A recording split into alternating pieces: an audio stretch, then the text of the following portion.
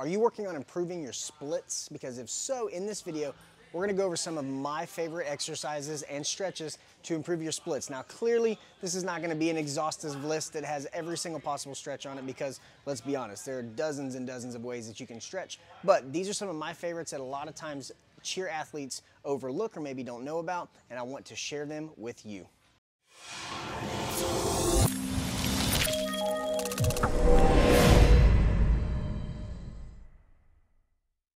So before we get started with the stretches and exercises, we need to know what exactly we're working on. There are some muscles on the front side of the body that we need to work and on the back side. Here we see the inside of the body very deep, and the muscles that we want to focus on on the front are our hip flexors. There are a couple of those. One is here, it attaches to your spine, and the other one actually tucks inside your pelvis. Both of these muscles attach to the upper part of your thigh. On the back side, we have muscles that most people are familiar with that we want to see stretch or flexibility with, and that's going to be our hamstrings. Now there's a few layers of these muscles, and we can see how big they are and where they're positioned. They start at the butt bone or your sit bone, and they run down and attach on the backside of your knee. Now these muscles, both front and back, are going to be the focus of these exercises and the, the exercises that we show are going to involve more than just stretching. So the first thing we're going to use is a lacrosse ball. For that, we're going to place it underneath our hamstring and put a little bit of weight down on it.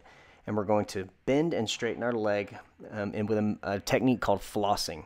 What we'll do is we'll put the ball under, put a little bit of weight, and we'll bend and straighten about 10 times or so, and we want to move the ball up and down the hamstring. On the front side, we can use our foam roller to roll all the way up and down the front of our thigh. And we can also do that same technique of pin and floss or pin and stretch by stopping on a tender point and bending our knee forward and back. Now, additionally, with the thigh muscles, we can get specifically on the lower attachment of the hip flexors. So we would take our foam roller and we would slide it more on the inside upper part of the thigh, um, just below the hip crease. By getting on this spot, we're going to get a little bit more pressure on the hip flexor. From there, we can go into leg swings, which we go forward and back, and make sure on this movement that we're getting big extension on the back side to help open up the hip flexors on the front. For some static stretching, we can do a proper hip flexor stretch. And you'll notice at the very beginning, I tuck my pelvis underneath and I don't let it drift back. That should give us some tension in the front of the thigh. If you want to intensify this, you can reach the arm overhead and then even lean to the opposite side to increase the stretch. And again, tuck the pelvis. We can rock forward just a bit and then reach overhead and lean away from the side that we're stretching. For our next advancement of this, we can do what's called a couch stretch. This is where we would put our back foot onto an elevated surface or against the wall. For most of the time, I like to pad my knee up when I'm doing this because it can be a little uncomfortable. From there, we do the same thing. We would tuck our pelvis. We can lean back into it a bit more, um, or we can try to reach overhead and stretch a little bit deeper here.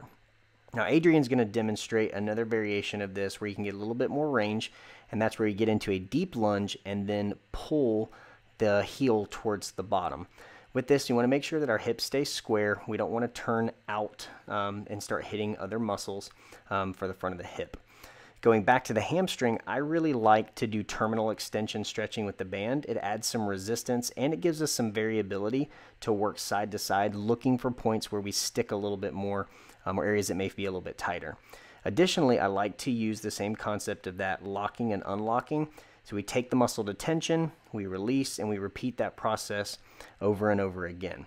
This teaches the brain that that position is safe by introducing it over and over again.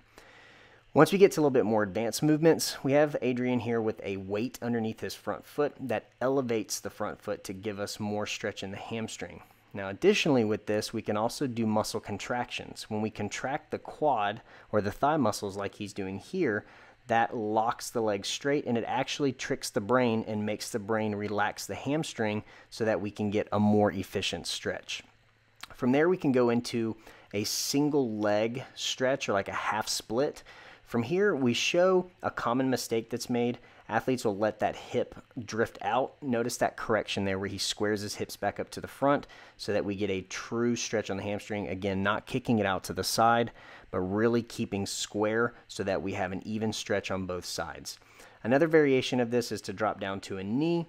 And again, we can see we start with the hip out really far. That's a mistake we don't want to make. And then our correction is to drive the hip back forward.